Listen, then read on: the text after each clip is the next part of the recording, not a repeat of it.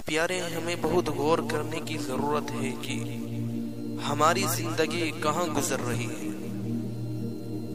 हमें बहुत समझने की ज़रूरत है।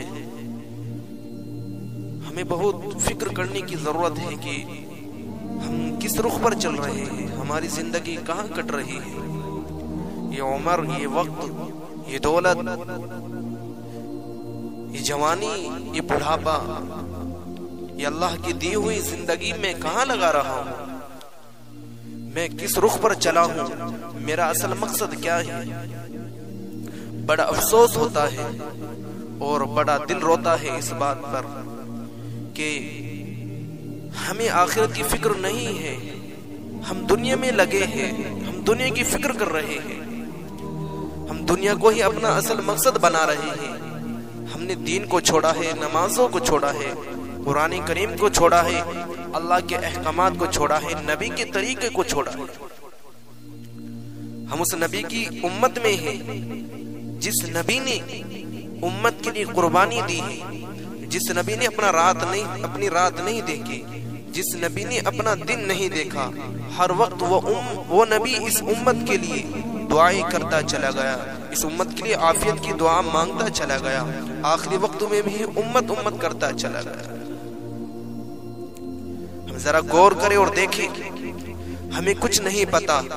हम जो आमाल कर रहे हैं, हम नेकी कर रहे हैं, उसमें कितना इखलास है, कितना हम अल्लाह से, अल्लाह के लिए मांग रहे हैं, अल्लाह अल्लाह के लिए इबादत कर रहे हैं। कुछ नहीं पता। साहब इकराम की इबादत को देखें, साहब इकराम की नमाजों को देखें, उनकी तिलावत को देखो, उनकी सखावत को देखो, उनके नेक साले अमल को देखो।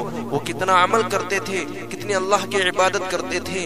इबादत करते करते, नमाजें पढ़ते पढ़ते उनको क्या मकाम मिला, उनको क्या बुलंदी मिली? नबी ने कहा, ए अबू बकर, तू जन्नती है, ए उमर, तू जन्नती है, ए तलहा, तू जन्नती है। जन्नत की बशारतें मिल गई कि तुम जन्नती हो। मेरे प्यारों उनको क्यों बशारतें मिली कि तुम जन्नती हो? और फिर देखो और गौर करो कि जन्नत की बशारतें मिल गई।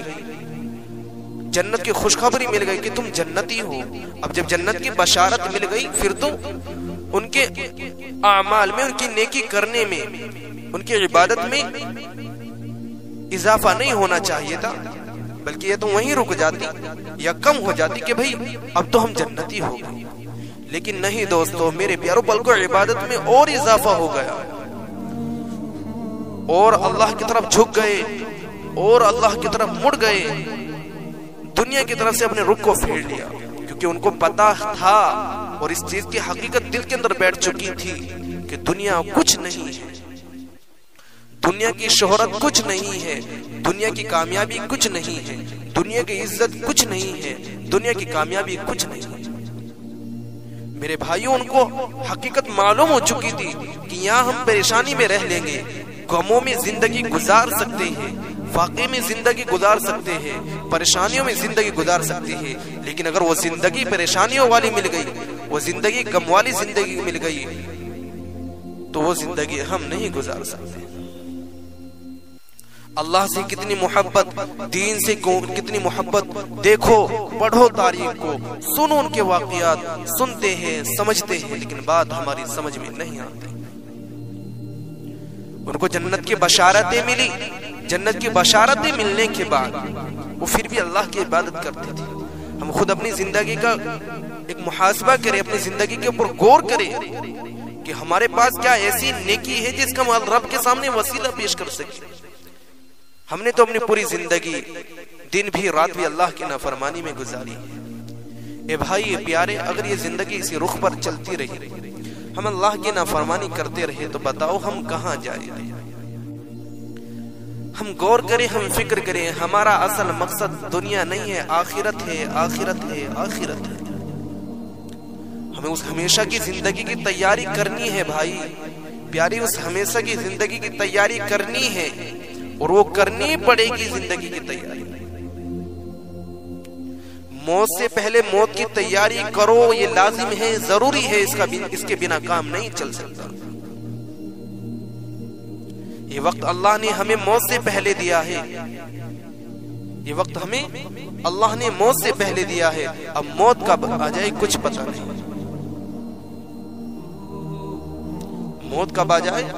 कुछ मालूम नहीं कब मौत आ जाए। इसलिए अपनी ज़िंदगी के हर दिन को, अपनी ज़िंदगी का आखिरी दिन समझो और हर हर वक्त मौत की तैयारी में लगे रहो। हर वक्त मौत की फ़िक्र में लगे रहो। जब मौत की तैयारी करोगे, नेक साले आमाल करोगे, अल्लाह की इबादत करेंगे, कुरान करीम की तिलावत करेंगे, नमाजें पढ़ेंगे, फिर मौत भी अच्छी आएँगे और रब भी राज़ी हो जाएगा। हर चीज़ रब के लिए करो। किसी और को शामिल ना करो। हर चीज़ रब के लिए करो, किसी और को इसमें शामिल ना करो।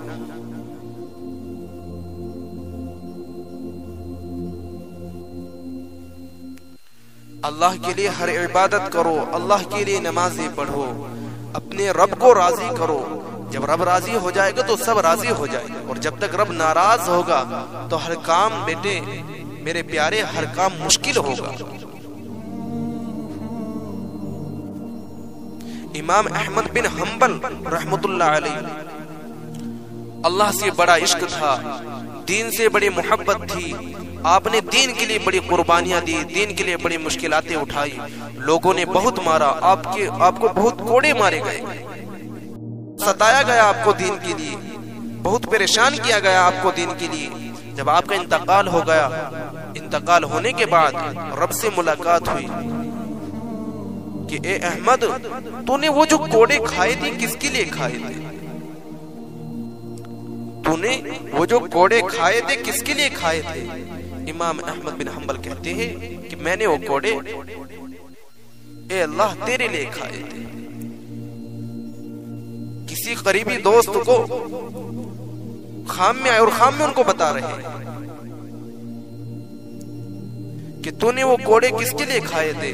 मैंने कहा, मेरे अल्लाह, ये कोड़े तो मैंने तेरे लिए खाए थे। और रब ने क्या कहा कि चल हटा, कयामत तक मेरा दीदार करता रहे। तो अल्लाह कितना खुश होगा भाइयों, जब हम अल्लाह की इबादत करेंगे और अल्लाह के लिए अमाल करेंगे। सिर्फ़ अल्लाह को राज़ी करने के लिए अमाल करेंगे। सिर्फ़ अपने रब को राज़ी करने के लिए अमाल करेंगे। उन गुनाहों को छोड़ दो जो हमें तबाह और बर्बाद कर देंगे। जो, जो हमारे ज़िंदगी के अंदर हमारी ज़िंदगी के अंदर परेशानियाँ डालती हैं हमें मुश्किलात में डालते हैं उन गुनाहों को छोड़ो और उस नेकी पर आओ जिस नेकी के करने से परेशानियाँ दूर होती है हालात संवरते हैं मुश्किलें कामों से निकलती है, आसानियाँ पैदा होती है। अल्लाह राज़ी होता है, रसूल राज़ी होता है, वो आमान करो।